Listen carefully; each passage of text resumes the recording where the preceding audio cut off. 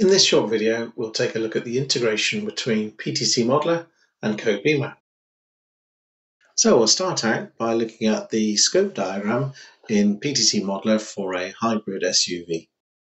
And then drill down into the system decomposition diagram to identify the model items we're going to link back with uh, requirements. So now let's move over to CodeBeamer um, and in our example, this is the start of our digital thread uh, with our product requirements. And here are some example requirements we'll use uh, in this flow. So now moving back to PTC Modeler, uh, we can see our local model on the left and the diagram. Uh, and on the right hand side, you can see we can connect directly to CodeBeamer and see those very same requirements. We can create a query to filter the requirements so that we don't see thousands of CodeBeamer requirements and just have the ones we're interested in uh, linking uh, to our model. Before we create our links, uh, using the local property page, we can see the, the information about that requirement uh, so that we can ensure it's the right requirement to link. Then creating a link is a very simple case of dragging and dropping, just like you do for all the uh, items inside PTC Modeler. And now that we've successfully created that link to CodeBeamer, you can see again the properties of that remote requirement locally here without leaving PTC Modeler. And as we're running live on a multi-user database, uh, all other model users can also see those links that we've created. Then, if we choose to, uh, we can use the embedded hot link to jump directly to that requirement over in CodeBeamer. And here we can see all of the details of that requirement. And then if we have the right privileges and we need to, we can modify that requirement. So here we'll just make a, a simple example modification to the requirement. Then once the requirement's saved, uh, we can go back to PTC Modeler and you'll see that it's been identified as a suspect link. Um, and that uses all of the standard suspect link notation uh, over in PTC Modeler. So you can see the red diamonds uh, and the stereotypes.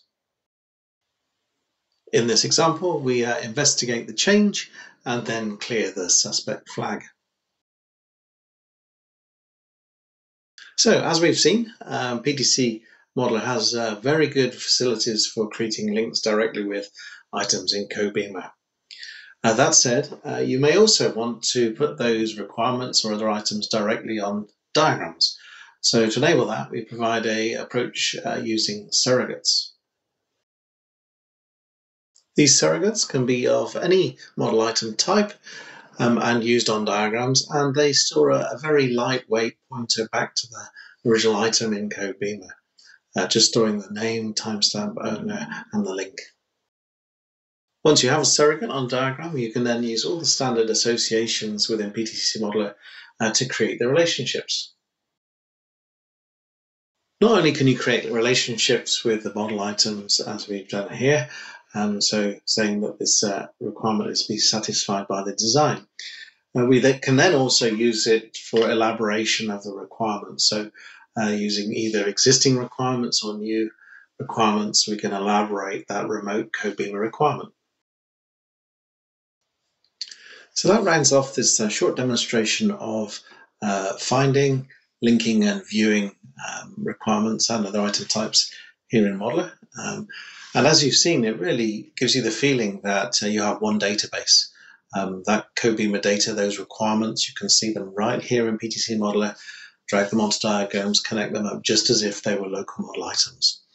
So very intuitive, and you work exactly the same way that you work with any model item inside PTC Modeler.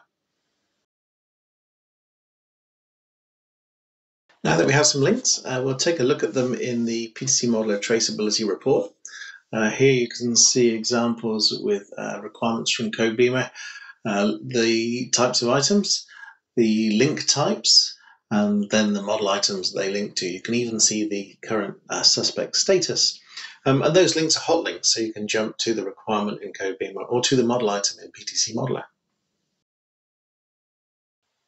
And in addition to the traceability report and of course uh, document generator and other ways of outputting model information, uh, we also have uh, our reviewer and in reviewer we can um, take a look at those uh, OSLC links, uh, see the links that are existing uh, for items, see items that have no links. Maybe you're looking for coverage, maybe designing against requirements.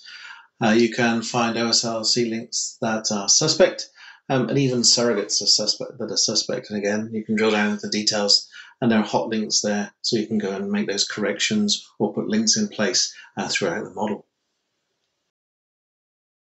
So that wraps up this short demonstration of the uh, OSLC-based integration between PTC Modeler and Codebeamer. And as you've seen, it really enables effective, robust um, digital product traceability between requirements and systems or software models.